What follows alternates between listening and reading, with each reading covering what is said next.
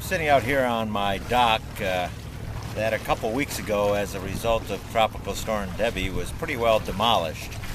Um, but within two weeks, we had it uh, rebuilt and restored and uh, back functioning. And I thought about the importance of getting it back rebuilt was that if another storm was to hit before I rebuilt it, uh, we'd lose it completely.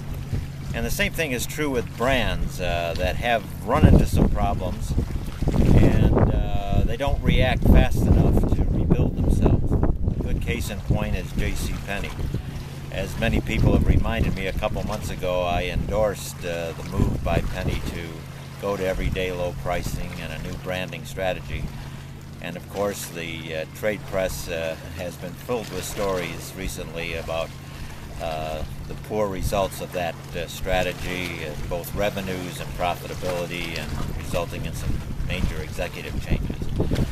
Well, in this month's blog, we'll uh, go into a little detail about what went wrong with Penney's and what happens uh, when you react not fast enough, but you go too far in changing your brand strategy and forget what got you into a position of strength in the first place.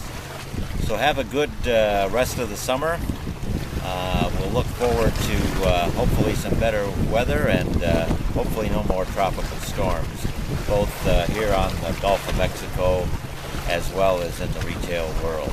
So have a good month. We'll see you next time. Thanks.